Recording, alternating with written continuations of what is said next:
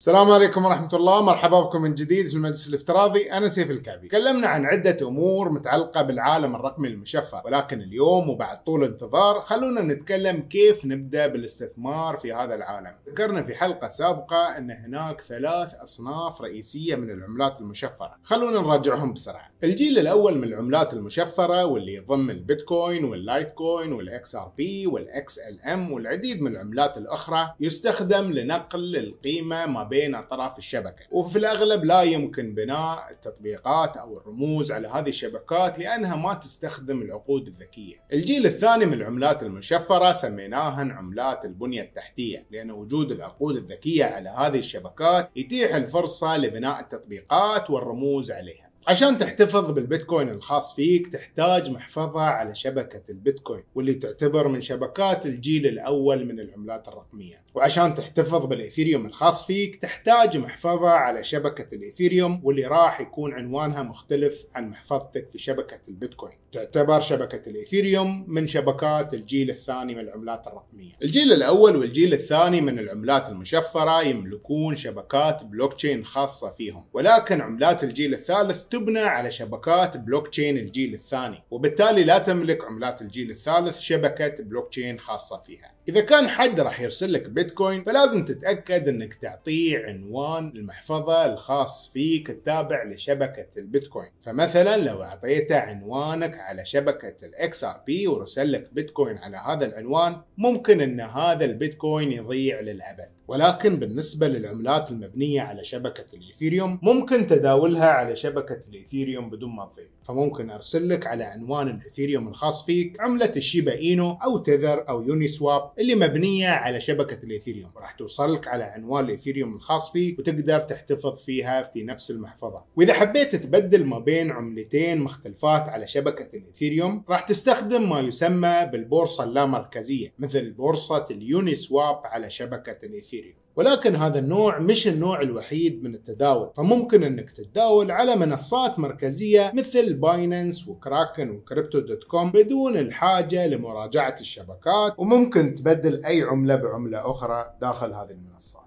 كثير من الناس يبيعون ويشترون العملات المشفرة على المنصات المركزية ولكن لما يحبون أنهم يحافظون على العملات لفترة طويلة فيسحبون هذه العملات إلى محافظ خاصة. نزلنا مع هذه الحلقة حلقتين مختلفات واحدة توضح كيفية إنشاء محفظة خاصة وواحدة توضح كيفية إنشاء حساب على منصة تداول مركزية. خلونا نسوي مقارنة سريعة ما بين التداول في محافظ خاصة والتداول على منصات مركزية. تمتاز المحفظة الخاصة أن أنت الشخص الوحيد اللي تملك الكلمة السرية للدخول لهذه المحفظة وممكن تدخل هالمحفظة من أي برنامج إدارة محافظ موجود. ومن محاسن المحافظة الخاصة أن الملكية الكاملة للعملات يعود لك وممكن تشتري أي عملة ترغب فيها.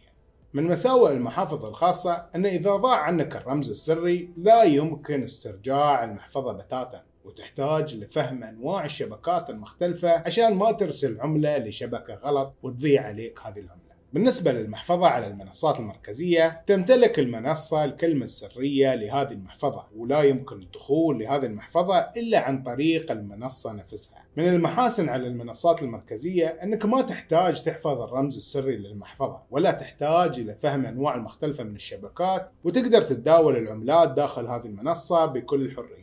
ولكنك في المنصات المركزية لا تملك الرمز السري الخاص بالمحفظة ولا يمكنك تداول إلا العملات اللي موجودة على المنصة.